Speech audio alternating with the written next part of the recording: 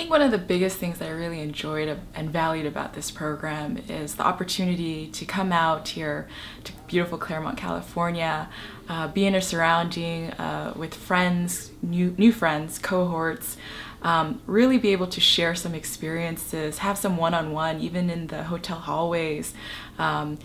in passing by the pool or in the breakfast time.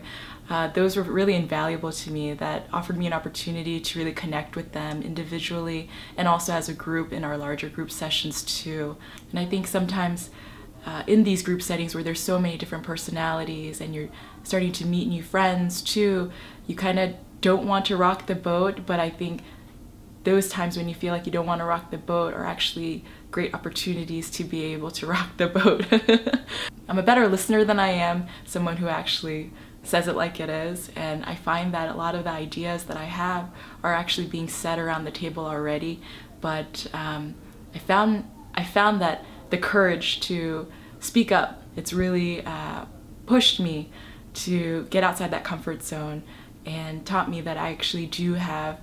um, the confidence, the capability, uh, so much more, and I bring so much to the table uh, where sometimes we think to ourselves that maybe we don't and we question that. So this is just another reminder that I'm on the right track.